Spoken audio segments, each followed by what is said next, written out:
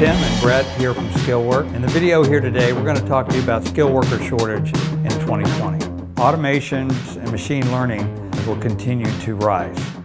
Prior to Skillwork, I spent 30 years in the manufacturing space, and so this topic, you know, was, was a reality that we lived, and and so automation has become, out of just pure necessity, something that manufacturing companies have gone to.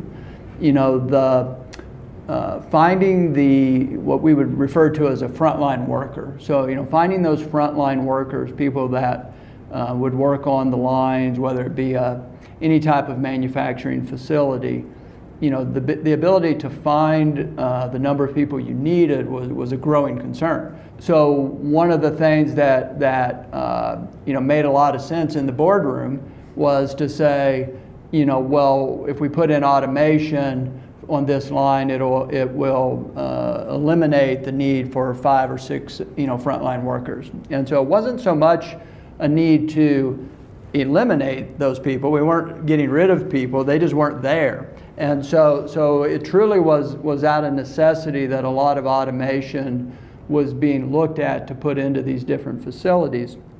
All seemed great on the surface.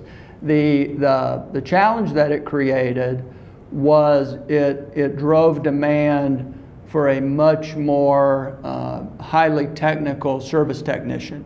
And these facilities, in a lot of cases, didn't have them. And so now you created a different issue that you had to find a solution to because you had spent millions of dollars in automation and, and robotics and these types of things, with then a reality that um, we don't know how to keep this equipment running. And, and, we've got to find, now we have to find those individuals. Right. So, uh, in an effort to try to solve their problem of a shrinking pool of skilled workers to keep their equipment running, they turn to automation technology, which is a good thing, helps industry become more efficient. But as you mentioned, now we got to find those, you know, very advanced, skilled uh, technicians that may not be as readily available as they used to be in your local area, for, uh, for example.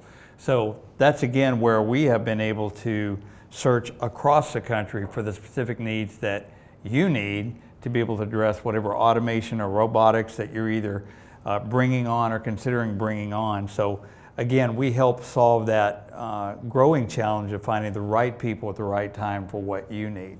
No, that's that's exactly correct. You know, as, as I talked about, you know, I had personal experience in it. You know, I have a, a friend in the industry as well, a very large organization. Companies that have that level of resource you know, he, he shared with me specifically that they had invested millions and millions of dollars in, in automation. Right. And the reality was they had lines setting in the plants that they, they weren't running um, because of this issue. And so, you know, it's, it's a real issue. Um, to, to your point, I think it's, it's, uh, it really uh, puts more emphasis on being able to find as you said, the right talent and get it to the right place at the right time, which, which at Skillwork, uh, we, we definitely believe that we can help you do that.